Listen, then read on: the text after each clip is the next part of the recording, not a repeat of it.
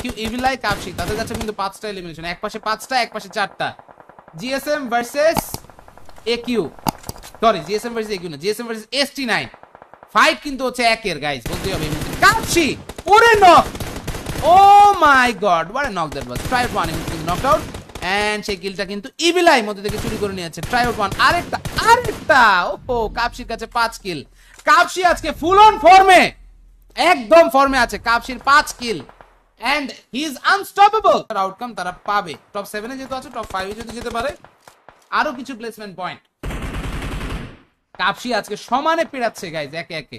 তো কাপসি ওপি আমরা চ্যাটে দেখি ইনশাল্লাহ 75% 76% জিএসএম সাপোর্টার্স এন্ড ইয়েস এই সাপোর্টটাই কিন্তু আপনার ফেভারিট টিম এক্সপেক্ট করে। ওকে নাইট মারছে স্মোক কাপসি বসেই আছে। কাপসি বলছে, আয় বাবা।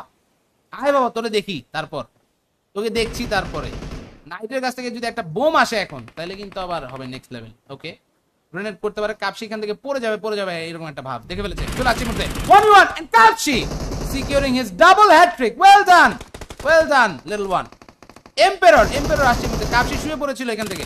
আরেকটা নক আরেকটা ফিনিশ আট kill oh my god what's going on damn man what a fight top three চলে আসলাম top two oh my god ইবিলা এখানে কিন্তু নক টু বি টু হয়ে গেছে। মেমো, কাপসি, ওই পাশে ফয়সাল আর জোরো।